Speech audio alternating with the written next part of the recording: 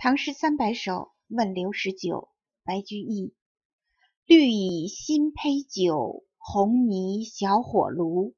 晚来天欲雪，能饮一杯无？这首诗的意思是说，新酿出的酒还没有过滤，上面泛起一层绿墨，香气扑鼻。红泥炉中殷红的火焰在跳动。夜晚，天上又要降雪了，朋友，能否共饮一杯呢？再读一遍。问刘十九，白居易。